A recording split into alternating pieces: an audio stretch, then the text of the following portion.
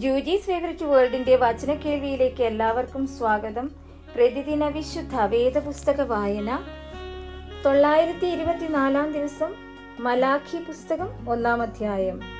പ്രവാചകം മലാഖി മുഖാന്തരം ഇസ്രായേലിനോടുള്ള യഹോവയുടെ അരുളപ്പാട്.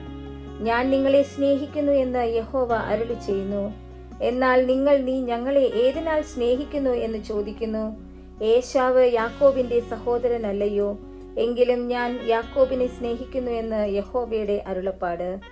എന്നാൽ ഏശാവിനെ ഞാൻ ദ്വേഷിച്ച് അവന്റെ പർവതങ്ങളെ ശൂന്യമാക്കി അവന്റെ അവകാശത്തെ മരുഭൂമിയിലെ കുറുനരികൾക്ക് കൊടുത്തിരിക്കുന്നു. ഞങ്ങൾ ഇടിഞ്ഞിരിക്കുന്നുവെങ്കിലും ഞങ്ങൾ ശൂന്യ സ്ഥലങ്ങളെ വീണ്ടും പണിയുമെന്ന് ഏതോ പറയുന്നു. എങ്കിൽ സൈന്യങ്ങളുടെ യഹോവ ഇപ്രകാരം അരളി ചെയ്യുന്നു അവർ പണിയട്ടെ ഞാൻ ഇടിച്ചു കളയും അവർക്ക് ദുഷ്ടപ്രദേശമെന്നും യഹോവ സദാകാലം ക്രുദ്ധിക്കുന്ന ജാതി എന്നും പേർ പറയും. നിങ്ങൾ സ്വന്തം കണ്ണുകൊണ്ട് അത് കാണുകയും യഹോവ ഇസ്രായേലിന്റെ അതിരിന് അപ്പുറത്തോളം വലിയവൻ എന്ന് പറയുകയും ചെയ്യും. മകൻ അപ്പനെയും ദാസൻ യജമാനനെയും ബഹുമാനിക്കേണ്ടതല്ലോ. ഞാൻ അപ്പനെങ്കിൽ എന്നോടുള്ള ബഹുമാനം എവിടെ? ഞാൻ യജമാനനെങ്കിൽ എന്നോടുള്ള ഭക്തി എവിടെ എന്ന് സൈന്യങ്ങളുടെ യഹോവ. അവന്റെ നാമത്തെ തുച്ഛീകരിക്കുന്ന പുരോഹിതന്മാരെ നിങ്ങളോട് ചോദിക്കുന്നു. അതിന് നിങ്ങൾ ഏതിനാൽ ഞങ്ങൾ നിന്റെ നാമത്തെ തുച്ഛീകരിക്കുന്നു എന്ന് ചോദിക്കുന്നു. നിങ്ങൾ എന്റെ യാഗപീഠത്തിന്മേൽ മലിന ഭോജനം അർപ്പിക്കുന്നു. എന്നാൽ നിങ്ങൾ ഏതിനാൽ ഞങ്ങൾ നിന്നെ മലിനമാക്കുന്നു എന്ന് ചോദിക്കുന്നു. യഹോവയുടെ മേശ നിന്ദ്യമെന്ന് നിങ്ങൾ പറയുന്നതിനാൽ തന്നെ. നിങ്ങൾ കണ്ണുപൊട്ടിയതിനെ യാഗം കഴിപ്പാൻ കൊണ്ടുവന്നാൽ അത് ദോഷമല്ല. നിങ്ങൾ മുടന്തും ദീനമുള്ളതിനെ അർപ്പിച്ചാൽ അതും ദോഷമല്ല. അതിനെ നിന്റെ ദേശാധിപതിക്ക് കാഴ്ചവെക്കുക അവൻ പ്രസാദിക്കുമോ? നിന്നോട് കൃപ തോന്നുമോ? എന്ന് സൈന്യങ്ങളുടെ ഹോവ അരളി ചെയ്യുന്നു. ആകയാൽ ദൈവം നമ്മോട് കൃപ കാണിപ്പാൻ തക്കവണ്ണം അവനെ പ്രസാദിപ്പിച്ചു കൊള്ളുവിൻ നിങ്ങൾ ഇതൊക്കെയും ചെയ്തിരിക്കുന്നു.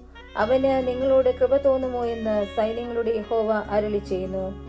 നിങ്ങൾ എന്റെ യാഗപീഠത്തിന്മേൽ വെറുതെ തീ കത്തിക്കാതിരിക്കേണ്ടതിന് നിങ്ങളിൽ ആരെങ്കിലും വാതിൽ അടച്ചു കളഞ്ഞാൽ കൊള്ളായിരുന്നു. എനിക്ക് നിങ്ങളിൽ പ്രസാദമില്ല എന്ന് സൈന്യങ്ങളുടെ യഹോവ അരുളി ചെയ്യുന്നു നിങ്ങളുടെ കയ്യിൽ നിന്ന് ഞാൻ വഴിപാട് കൈക്കൊള്ളുകയുമില്ല.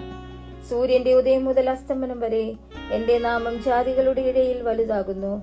എല്ലായിടത്തും എന്റെ നാമത്തിന് ധൂപവും നിർമ്മലമായ വഴിപാടും അർപ്പിച്ചു വരുന്നു. എന്റെ നാമം ജാതികളുടെ ഇടയിൽ വലുതാകുന്നുവല്ലോ എന്ന് സൈന്യങ്ങളുടെ യഹോവ അരുളി ചെയ്യുന്നു നിങ്ങളോ യഹോവയുടെ മേശ മലിനമായിരിക്കുന്നു. അവന്റെ ഭോജനമായ അതിന്റെ അനുഭവം നിന്ദ്യമാകുന്നു എന്ന് പറയുന്നതിനാൽ നിങ്ങൾ എന്റെ നാമത്തെ അശുദ്ധമാക്കുന്നു. എന്തൊരു പ്രയാസം എന്ന് പറഞ്ഞ് നിങ്ങൾ അതിനോട് ചീറുന്നു. എന്നാൽ കടിച്ചു കീറിപ്പോയതിനെയും മുടന്തും ദീനവുമുള്ളതിനെയും നിങ്ങൾ കൊണ്ടുവന്ന് അങ്ങനെ കാഴ്ചവെക്കുന്നു എന്ന് സൈന്യങ്ങളുടെ യഹോവ അരുളി ചെയ്യുന്നു. അതിനെ ഞാൻ നിങ്ങളുടെ കയ്യിൽ നിന്ന് അംഗീകരിക്കുമോ എന്ന് യഹോവ അരുളി ചെയ്യുന്നു.